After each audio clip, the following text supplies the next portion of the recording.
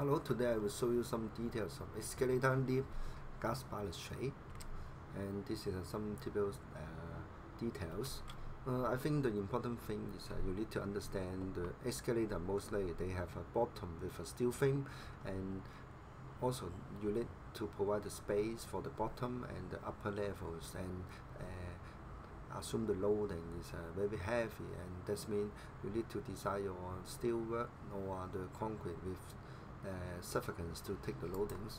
This is the lift details, basically the details.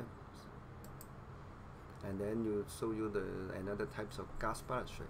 Most likely, I think you will see this is uh, embedded with uh, uh, inside of the channels. But sometimes you can see the uh, glass will be just use the bowl and not connection. And other thing is uh, you can see there's some railing support okay and then this is a common details you see the they were embedded with uh, channels and most likely you need to understand sometimes they use to take the uniform low or the pond low uh, in order to protect the pedestrians.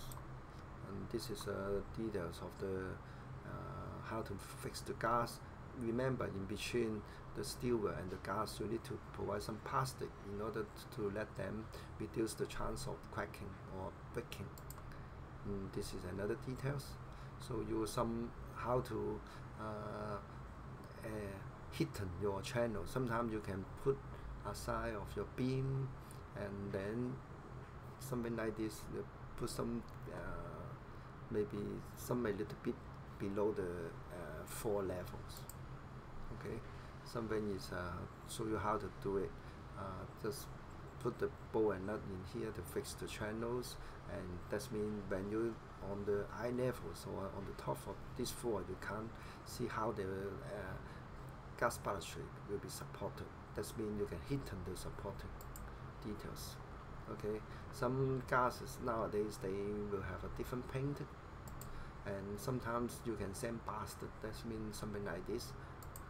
And sometimes you can make it much more white and this is uh, another topics I will talk about the handrails okay?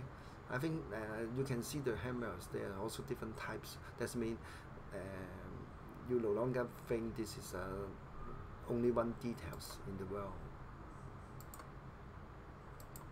This is a uh, uh, railing captain with uh, different types of captain. And the timber line and stainless steel line that's mean on the top is stainless steel and then another types of system and fully gassed. Um, this is a show you the glass with a different color and nowadays you also have a different patterns.